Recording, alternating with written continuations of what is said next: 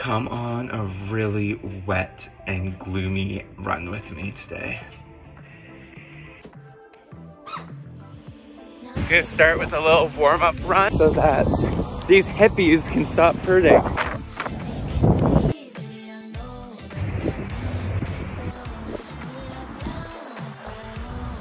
gonna be running east on the harbor front today. Get a little bit of different scenery when the wind hits you right on.